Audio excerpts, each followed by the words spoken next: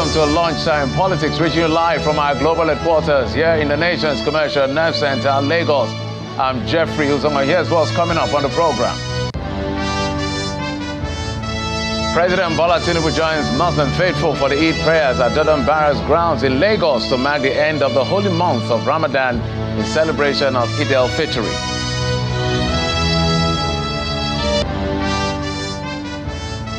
One of the most ambitious infrastructure projects in Nigeria's history generates debate and controversy as former Vice President Atiku Abubakar insists the federal government must come clean on details of the 700 kilometer Lagos Calabar Coastal Road project.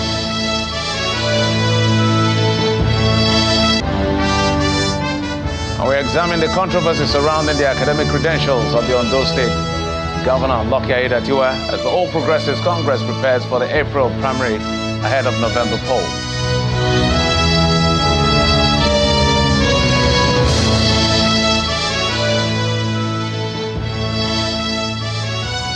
Again, Eid al-Mubarak to all our Muslim brothers and sisters who join other faithful around the globe in celebrating Eid al-Fitr, which marks the end of the fasting in the month of Ramadan.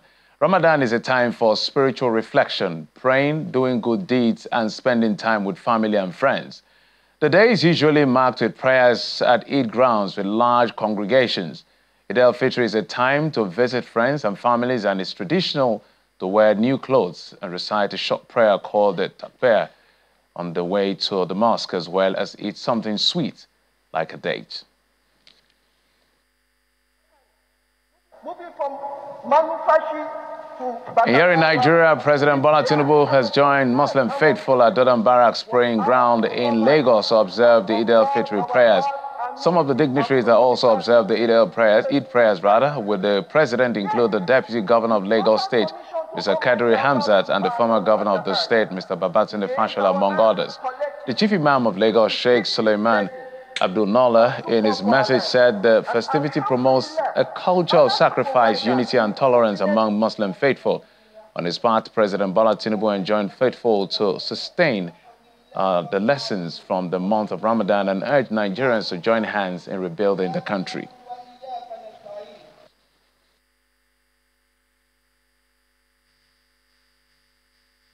The kind of uh, resilience sacrifice, endurance that we have. We should preserve that for the country. Be kind and be cheerful giver.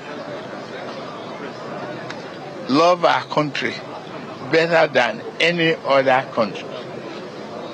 That's the only one that we have. And we must continue to pre- protect the integrity of our government and leadership. The new hope is alive, well, and fine, and uh, Nigerians continue to be very hopeful. Without hope, there's no salvation. Without hope, there's no development. Without hope, there's no life.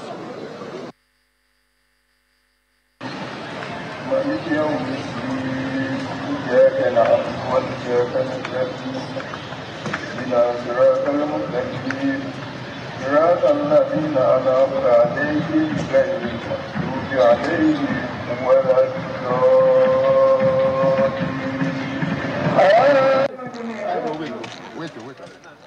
And those are also our Muslim brothers and sisters observing the Eid prayers in the nation's capital, Abuja, to also mark the end of the holy month of Ramadan as they join their other counterparts around the globe, just like in Lagos and across the country, to mark Eid al-Fitr. Eid al-Fitr means reoccurring happiness. It means reoccurring joy. And it comes at the end of the month of Ramadan, which means uh, the joy which we have, God has given to us during the month of Ramadan, we begin to practicalize it and enjoy it in a better way. And it's also a time that everything we have learned in the month of Ramadan, we learn to practicalize it, especially the compassion. If you notice, so many people, they were happy during the month of Ramadan, they were help here and there. And that is what we want to take out of the month of Ramadan. And then away from the celebrations with our Muslim brothers and sisters, the federal government has begun the construction of the 700 kilometer Lagos Calabar coastal superhighway. However, for business uh, and owners of the structures around the right of way, the proposed coastal highway who have been served with removal notice, it's a mixed emotion given its impact on their livelihood. Our correspondent, Kelly Agiga, tells us more. It's the construction of an iconic and monumental civil engineering project, the Lagos Calabar Coastal Superhighway. When completed, the 700 kilometer long coastal highway will enter the record books among iconic coastal routes like the Pacific Coastal Highway in the US and the Wild Atlantic Highway in Ireland. The first phase of 47.47 kilometer starts from Ahmadu Bello Way, Victoria Island in Lagos, and the coastal road will pass through the Lekki Deep Seaport, Ogun, Ondo, Delta, Bayelsa, Rivers, Akwa Ibom, before culminating in Cross River. But that's not all. The superhighway, which is being built by Hitech Construction Company, has five lanes on each side of the dual carriageway and a train track in the middle.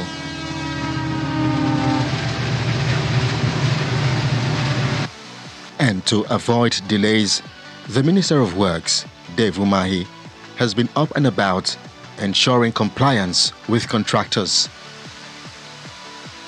Mr. Umahi says the coastal road will, among other things, further integrate the north and south in terms of movement of people, goods, and services. We are very confident that this project, 700 kilometer, and the phases two, it will be uh, uh, executed successfully under President Bola Ahmed Tinubu. But while the Lagos Calabar Coastal Road will usher in a new era of ambitious infrastructural development projects in the country, vendors at the popular landmark beach resort site, built to be pulled down, are struggling to come to terms with the seven day demolition notice. We're given seven days to leave. Seven days to do what? How, what do you begin to pick up for, for, for, for seven days and to where?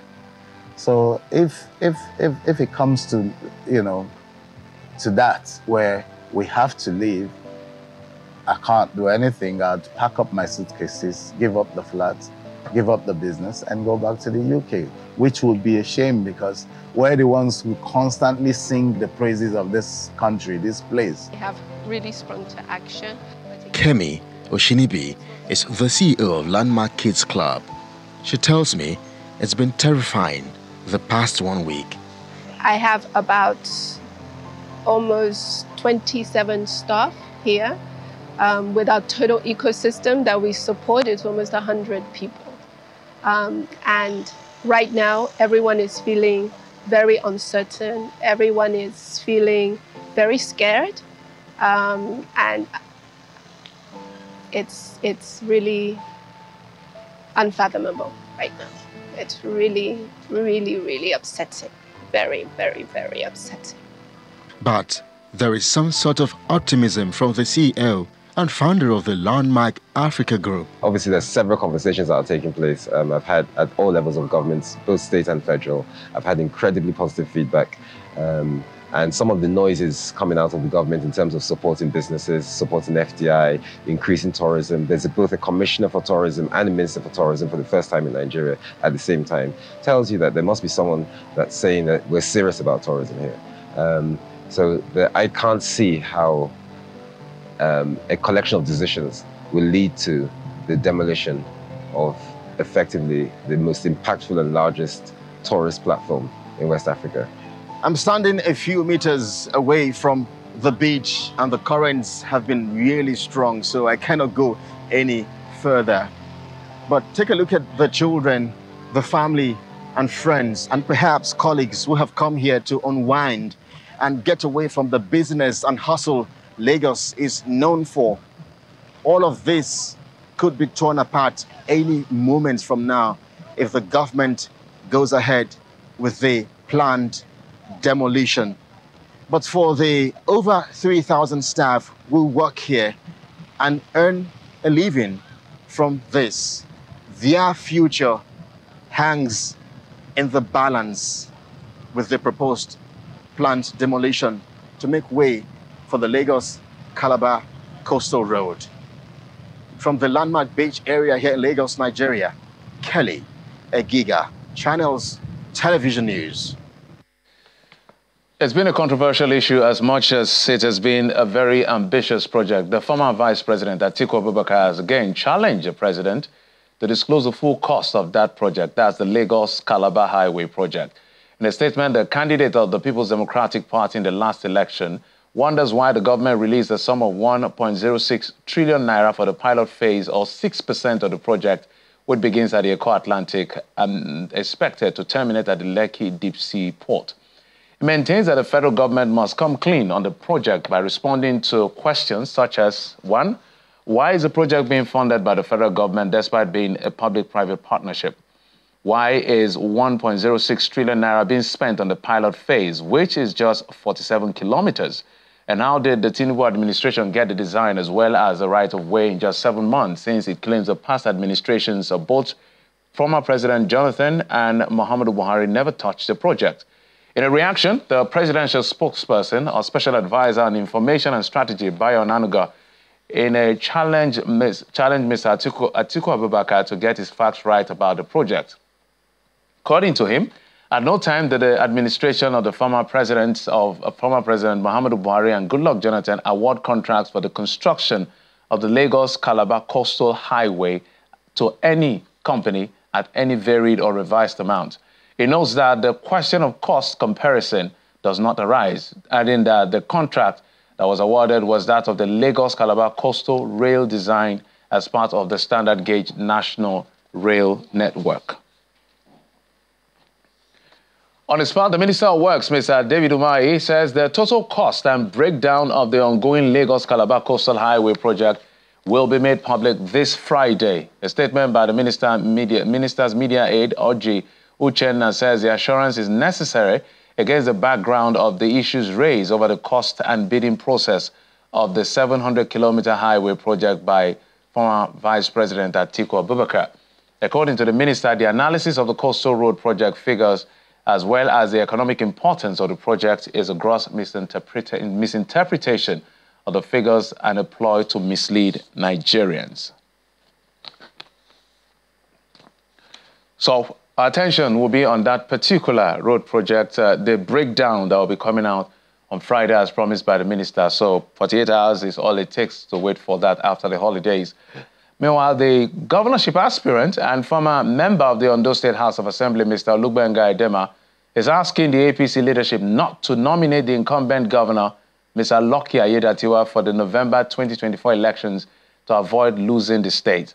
At a media briefing in Abuja, Mr. Dema, who petitioned the APC's national legal advisor, argues uh, that Mr. Aiyedatiwa's candidacy risks losing to the opposition parties due to an alleged certificate scandal. He asserts that he is trying to prevent what he considers a repeat of the party's misfortune in Bayelsa State in 2019 when the Supreme Court nullified David Lyon's election over a certificate dispute with his deputy.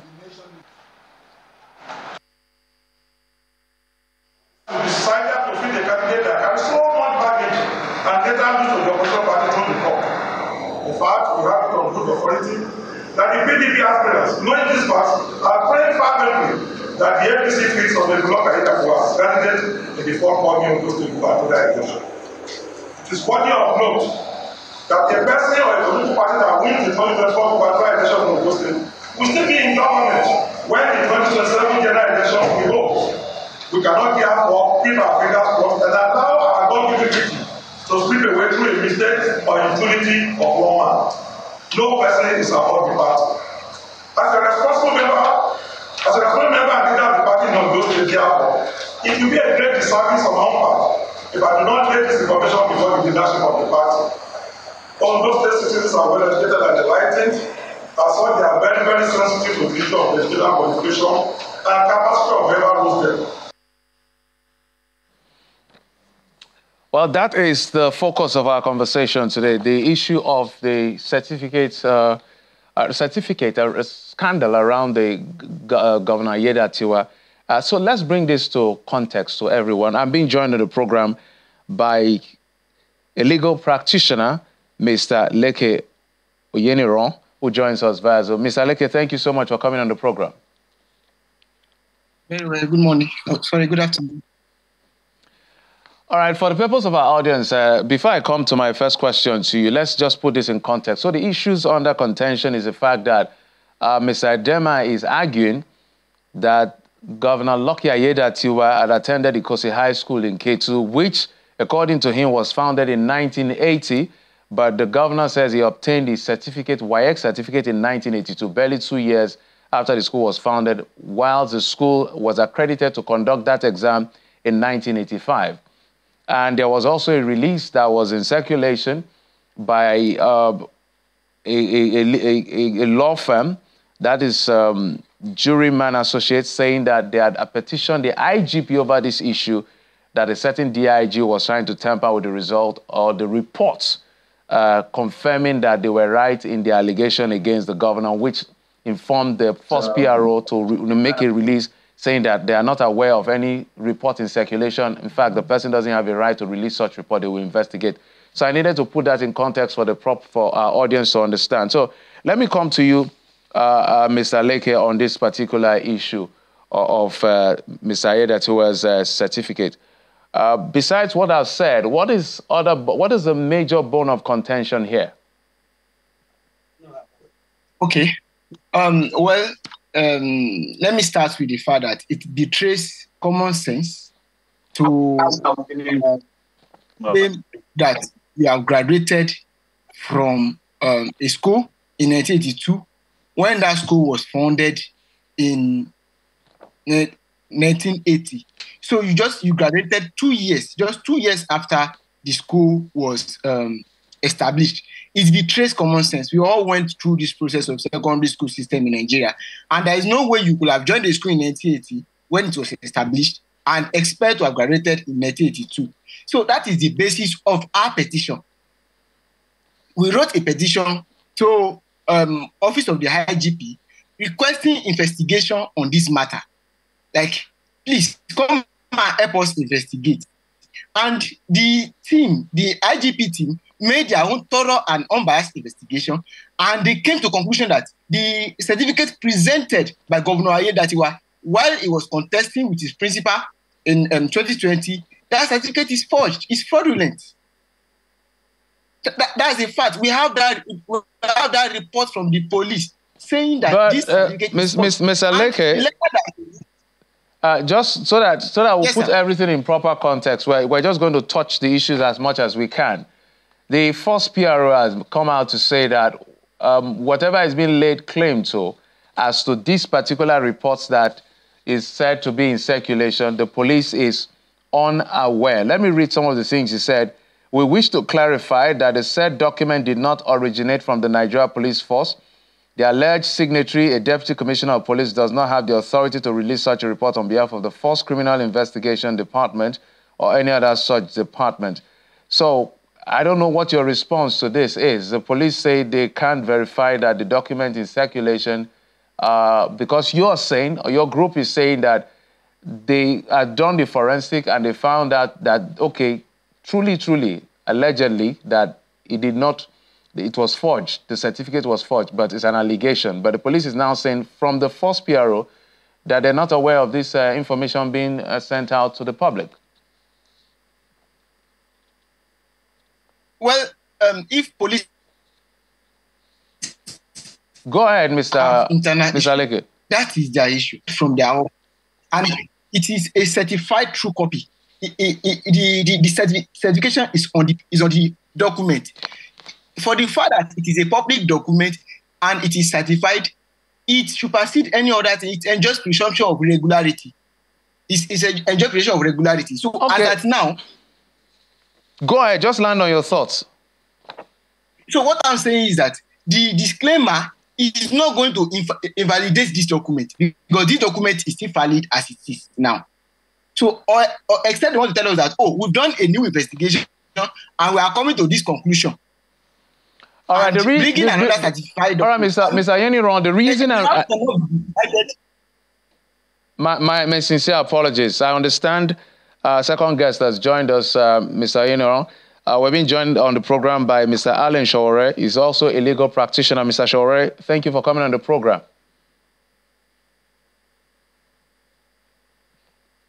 Mr. Shore, can you hear me? Yeah, good afternoon. I can hear you. I don't know whether you've uh, maybe heard a few things that was said by Mr. Oyeniran and what your response will be concerning this certificate uh, scandal saga.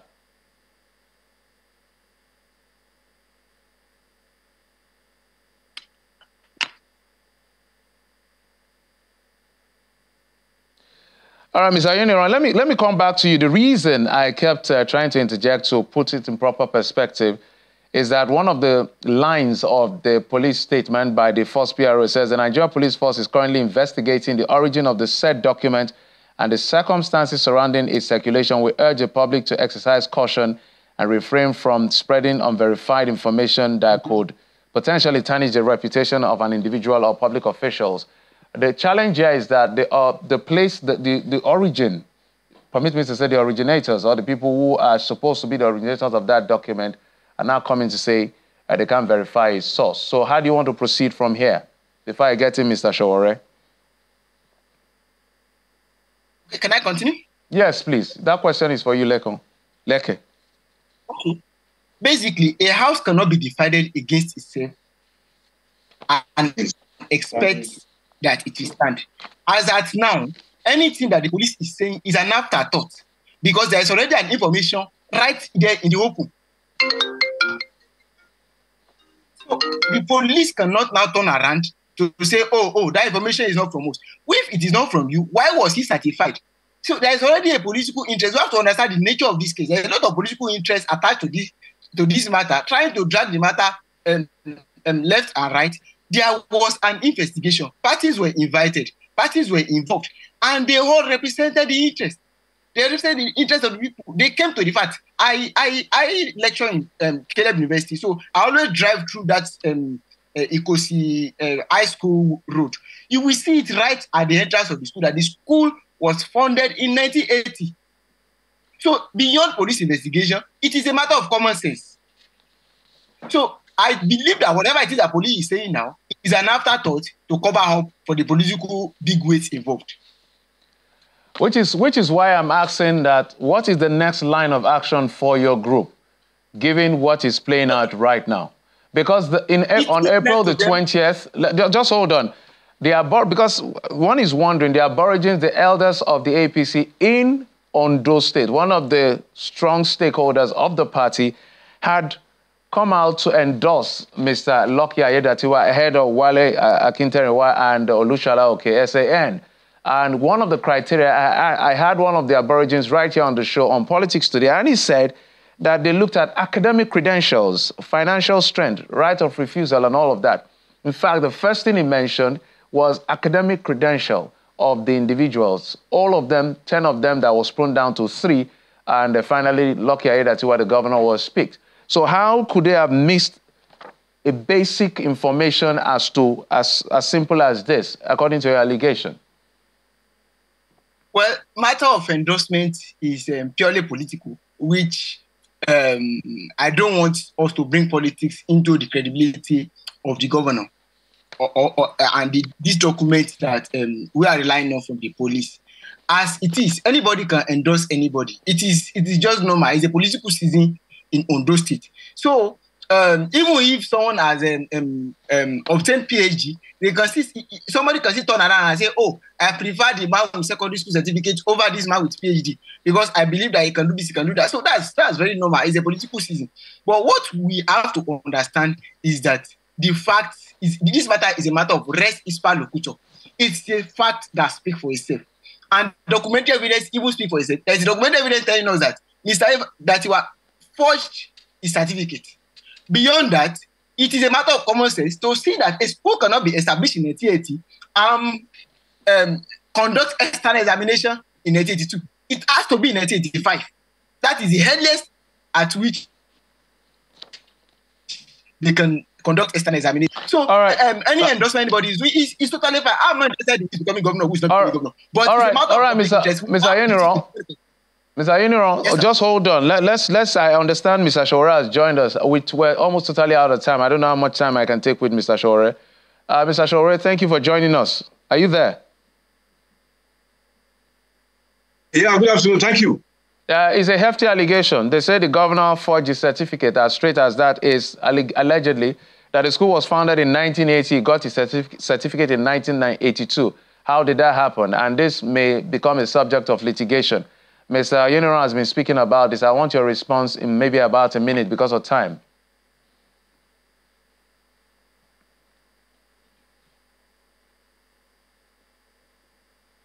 Yes, um, thank you for having me. It- it's sad when you see a lawyer who is not a court, who is pronouncing uh, a- a- an allegation of this magnitude and is uh, concluding that somebody forged. You know, it's, it's very sad. And I'm very sure some of these lawyers will have their days in the court. In the first instance, the Nigerian justice system does not allow a conclusion, even not even the um, investigation authority like the police, the DSS, to conclude that uh, an offense has been has been committed. So when you see lawyers who come to uh, national television to pronounce on an allegation that is unfounded, reckless, unsubstantiated, it, it- it's sad. All right, all right, all right, Mr. Shore. We do not have the luxury of time. I did say that because uh, apologies for what uh, technology has done to your connection. But a quick one. Um, the facts are, the argument about is a fact. When did the governor uh, graduate from Ikosi High School? When was Ikosi High School founded? Just a simple, straight question. Yeah, these are no issue. I can tell you a personal experience. No, no, no. I- we don't I have the luxury of time. I asked a straight question. I don't have so much time. My sincere Uh, apologies. hello? When did he graduate? When was the school founded? Because of time. Straight answers, please. Hello? Mr. Shore, can you hear me? The network is terrible. Can you hear me, Mr. Shore? I can hear you now. I said, we don't have time. I barely have 30 seconds. That's why I need you to just answer straight. When did the governor graduate from Ikosi High School and when was Ikosi High School founded? Just let's have that fact and close the show. I can't I can't give you a straight answer without building the foundation of what happened at that particular period of time. And I was trying to let you know from my own personal background that I went to Adekunle Ajasin University. Hello? All right, Mr. Shore, uh, we're totally out of time. My, my sincere apologies. Maybe we have to reschedule this conversation so that we'll have the latitude to uh, talk over this and debate over the issue. Both of you, Leke Oyeniran, legal practitioner, as well as Alan Shore, also a legal practitioner. Thank you both for coming on the program. And that's it on Lunchtime Politics. Thank you for your time. And of course, your usual company. I'm Jeffrey Uzoma. You've been served on lunchtime. Happy holidays today and tomorrow.